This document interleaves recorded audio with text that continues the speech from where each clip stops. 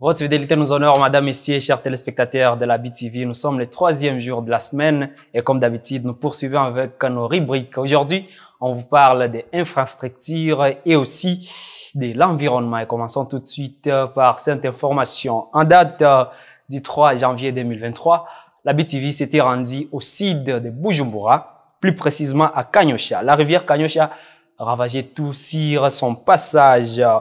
Suite au glissement des berges de cette rivière, les habitants ayant des maisons et parcelles demandaient à l'État de leur venir en aide dans ce reportage. nkanje ngaha numva najakaye numva ndiko ndajugumira kubera umubabaro n'agahinda Celle-ci est l'habitante de Kibengara, près de la rivière Kanyosha, qui a dévié et a ravagé les restaurants comme quoi ne sait pas à quel sens se vouer. J'avais deux parcelles. On a fait dévier la rivière Kanyosha à travers la première parcelle pour la donner une nouvelle direction. La deuxième qui était loin de cette rivière a été touchée. Même une partie qui reste, car cette parcelle sera tout près de la rivière. hein. Je ne vois pas où trouver les moyens pour acheter une autre parcelle.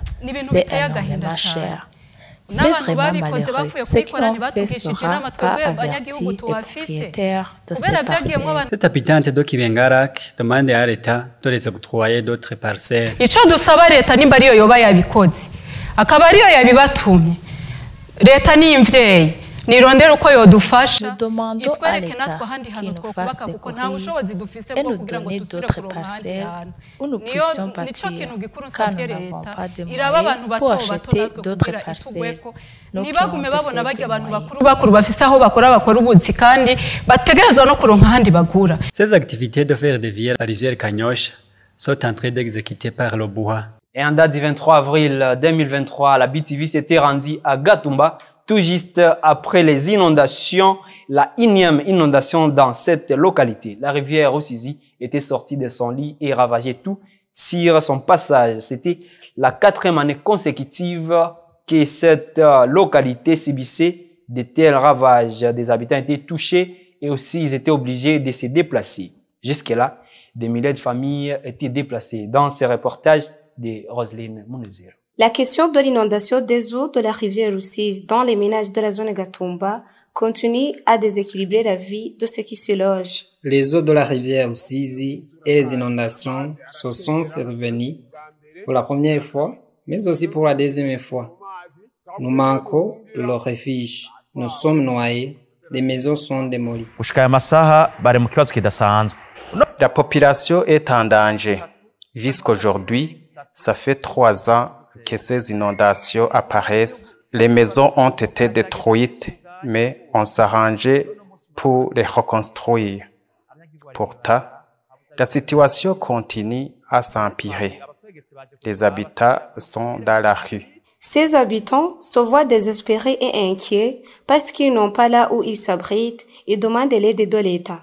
Nous demandons l'État de continuer à nous aider pour que la question des inondations soit résolue dans cette zone. Car il y a ceux à qui l'État a déjà construit des maisons et ceux qui ont été déplacés vers Burumba. Comme l'État est responsable et laboureur, nous aussi, nous sommes burundais, il faut qu'il nous aide. Nous sommes fatigués de se déplacer chaque année. Nous supplions l'État de nous aider en construisant Ces inondations observées à l'aube de ce mercredi seraient sévères comparativement aux inondations antérieures, comme le signalent les habitants locaux touchés.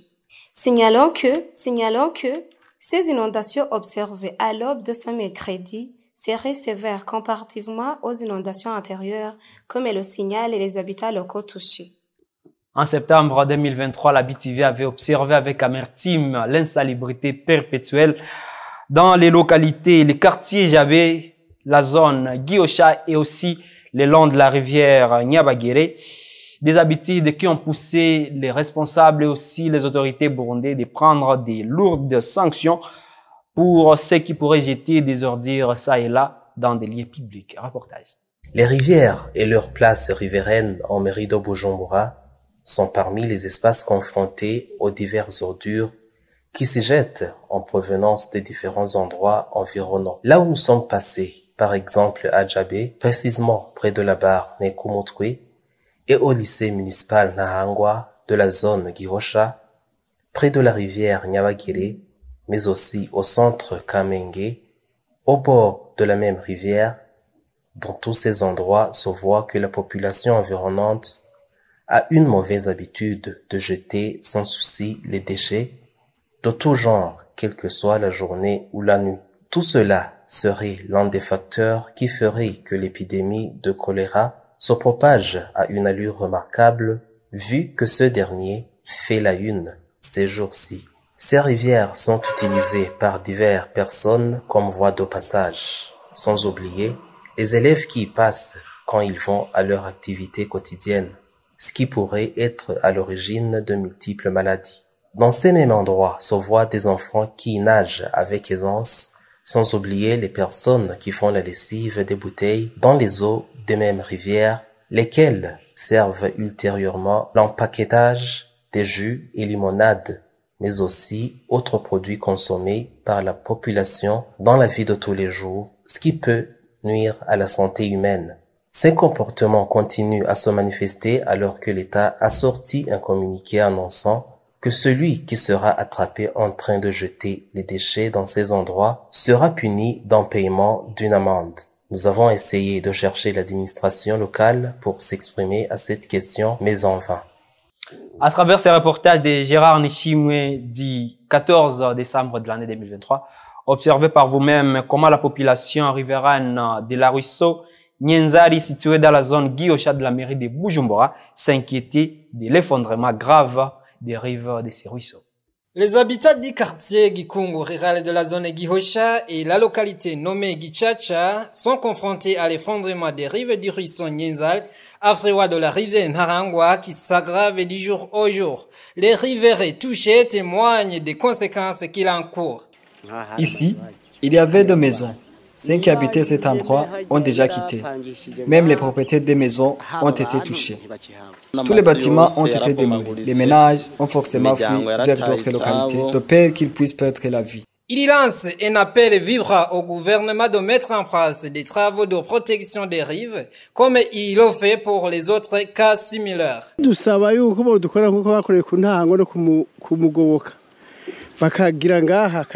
demandons la protection de ce ravin, comme on l'a fait à Mugoboka.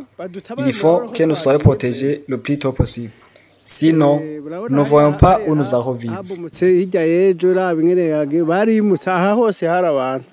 Eh, Il faut que l'État réalise quelque chose pour éviter que les effondrements continuent. Sinon, dans peu de jours, on ne trouvera ici aucune maison.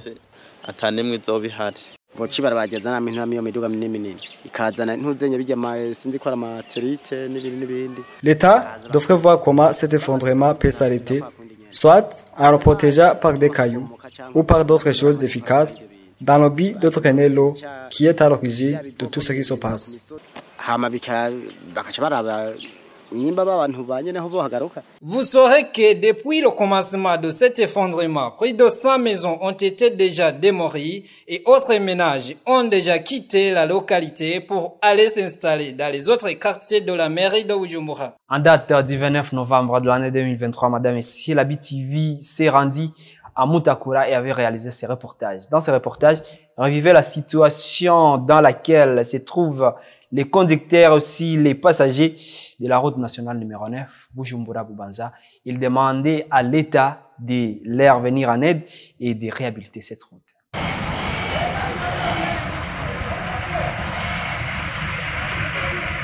Les usagers de la route nationale numéro 9 Bujumbura Bubanza sous la menthe de la vétusté de cette route marquée par des nids de poules. Les piétons des quartiers du nord de la mairie de Bujumbura qui se déplacent par cette route témoignent la situation. eh, eh,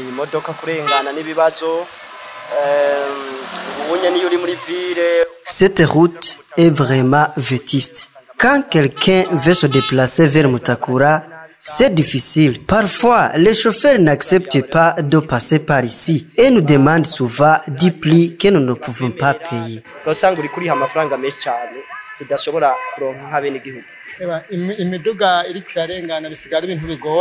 La route est déjà endommagée. Les voitures dévient pour passer là où les piétons passent. C'est vraiment dangereux. Il supplie le gouvernement de faire le tout possible pour que leurs activités quotidiennes continuent normalement.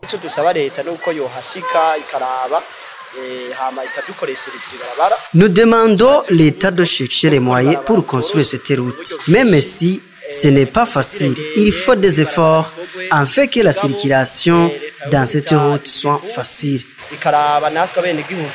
Eh, ikadutunganyiriza ikaduha ibarabara ryiza. Twagomba dusabe leta yuko yodufasha. Il faut la construction de cette route, car il y a des activités qu'on devrait réaliser, mais qu'on a arrêtées à cause de son mauvais état. Quant aux conducteurs, l'état mauvais de cette route déstabilise leurs travaux. Il ajoute qu'ils sont en train de travailler dans la perte car leurs voitures se trouvent toujours dans les garages. Signalons que la route nationale numéro 9 est l'une des routes les plus utilisées pour le transport des marchandises alimentaires venant de l'intérieur vers le marché Kotebou, le marché où beaucoup de ménages de la mairie de Bujumbura achètent des denrées alimentaires. Et puis après cela, une autre descente a été faite euh, sur cette route, euh, boulevard euh, lieutenant-général Adolphe Chimirimana. La situation semble être beaucoup plus empirée et selon les usagers de cette route, les transporteurs qui peinaient pour la parcourir et selon eux, ils payaient leurs impôts, ce qui veut dire qu'on devrait leur construire cette route afin qu'ils puissent bien poursuivre leurs activités. Les citoyens des différentes régions du pays disent qu'ils sont fatigués par divers problèmes évidents dans notre pays, tels que les mauvais états des routes, les prix élevés des différentes choses, la carence des produits de première nécessité et j'en passe. Ces citoyens qui font les transports et les gens qui transitent par la route de Bujumbura-Bobanza disent qu'ils n'ont plus rien à dire sur la vétusté de cette route. La voiture ne peut pas rouler sur cette route toute une semaine entière sans aller au garage. Et l'argent que nous gagnons pour le versement, c'est ce qu'on utilise pour payer le garage. Comment pensez-vous que le boss trouvera son bénéfice? Beaucoup d'entre nous ont abandonné ce trajet et sont allés travailler ailleurs comme à Chibitoki, Kayanza, Gitega et Ngozi. Et moi aussi bientôt, je quitterai cette route Ces citoyens demandent au gouvernement de réhabiliter cette route car ils perdent leurs impôts à temps.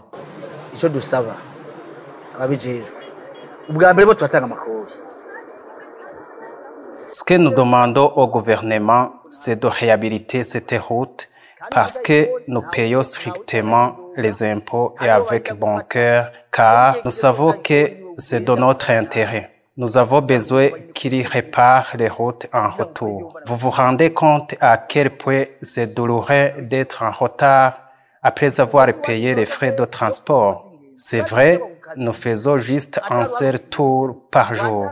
Vous imaginez les problèmes auxquels font face chaque jour nos patrons à cause de cette situation.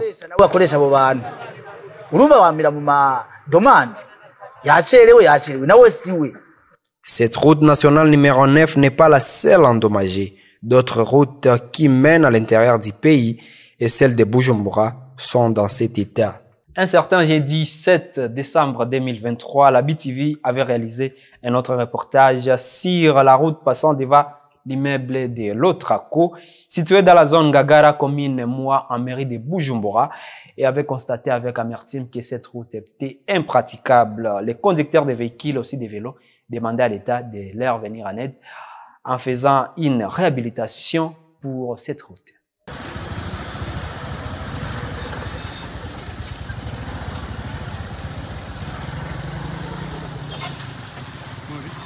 Plusieurs nids de poules se trouvent sur la route passant à côté du bâtiment Otraco, situé dans la zone Gagara, quartier 9, commune Nahangwa, en mairie de Bujumbura. Cette route mène vers la zone de Terere. Que ce soit véhicules, motos, vélos, doivent ralentir une fois arrivés à cet endroit. Pendant la saison pluvieuse, la route devient impraticable, causant des fois des accidents car la voie devient trop étroite. Sur cette route se trouve le parking de voitures, motos ou vélos, faisant le transport de personnes et marchandises. Certains chauffeurs se plaignent qu'ils payent chaque année des taxes pour la réhabilitation des routes, mais que leurs véhicules se détériorent au jour le jour.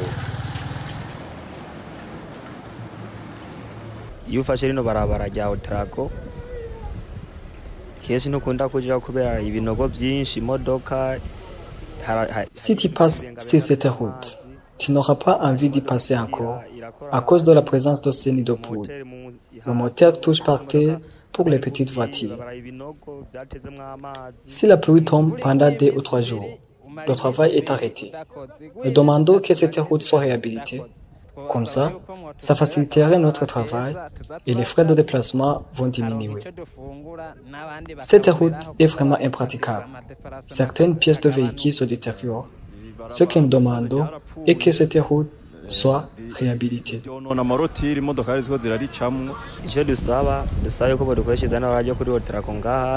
Vous saurez que sur cette route passent plusieurs véhicules venant dans le contrôle technique à l'Otraco.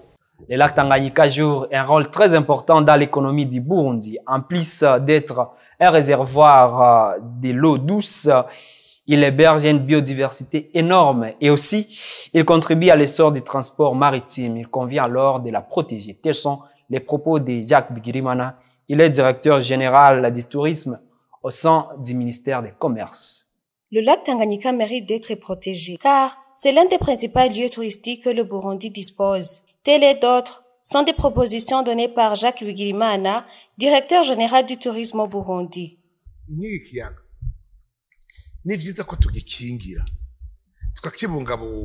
C'est bon de protéger, d'éviter la pollution et toutes sortes de salubrité à ce lac.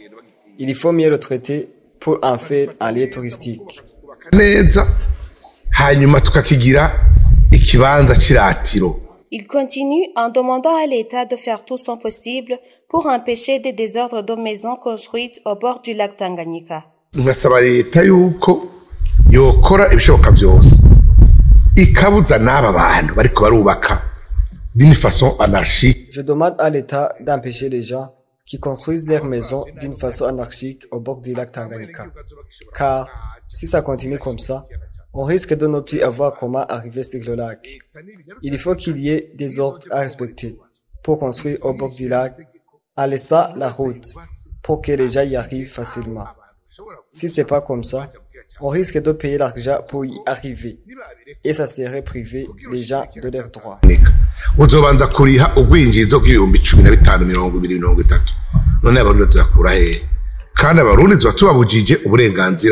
Bahawe n'imana uburenganzira bahabwa na leta Dans le cas où le taux des ordures jetées dans les caniveaux et dans les rivières atterrissent dans le lac Tanganyika, ce qui tue ou fait fuir les êtres vivants du lac. Et puis après cela, en date du 12 octobre, lors d'une visite guidée au parc de la Rusizi, Jacques Bigirimana a apporté plus d'éclaircissements à la question de savoir qu'en est-il des chimpanzés qui étaient exportés au Kenya pendant la période de crise dans ce reportage. Dans le souci de doter les parcs nationaux et les réserves naturelles de différents animaux pouvant attirer les touristes, le directeur général du tourisme au sein du ministère du Commerce et du Transport, d'Industrie et du Tourisme, Jacques Bigirimana, a visité ce 12 octobre le parc national de la Rusizi. Selon lui, les chimpanzés qui ont été amenés au Kenya pendant la crise seront rapatriés et feront partie de ces animaux. Visite euh, est en rapport avec euh, euh, la prospection pour voir où on peut aménager pour euh, certaines espèces animaux, à l'image des chimpanzés et autres herbivores, pour que le plan national de développement euh, puisse être euh, exécuté convenablement euh, selon euh, la politique nationale du gouvernement. J'ai con- rencontré les différentes autorités de la République et j'ai entendu que depuis la première haute personnalité du pays, il veut que le secteur du tourisme soit en secteur réellement promoteur. Pour que ce soit en, serv- en secteur promoteur, il faut essayer de faire des extensions euh, pour que les animaux puissent euh, avoir des endroits bien aménagés d'abord, euh, protégés ensuite, et encore euh, un endroit euh, viable et vivable. Le parc de la Rusizi euh, avoisine euh, une, euh, à, à peu près 1000, euh, 10 000 hectares. Donc, un espace euh, de 10 000 hectares qui ne contient aucun animal, qui ne contient aucun espèce pouvant attirer les, les, touristes, autre que euh, les crocodiles et les, les hippopotames, vous comprenez qu'un manque reste toujours par an. Donc nous voulons que euh, ce, ce parc soit réellement un parc qui attire les touristes. Précisons que lors de cette visite au parc national de la Rusizi, l'actuel directeur général du tourisme au ministère ayant le tourisme dans ses attributions, Jacques Bigirimana, était accompagné par tous les techniciens du secteur du tourisme ainsi que les journalistes. Ainsi prend fin cette édition, Madame, Messieurs. Merci de l'avoir suivi avec intérêt. D'ici là, portez-vous bien, prenez soin de vous et de vos proches, car demain est une nouvelle vie. Et bonne suite des programmes sur votre chaîne BTV. Vous nous suivez actuellement sur Canal+, chaîne 396 et sur Star Times.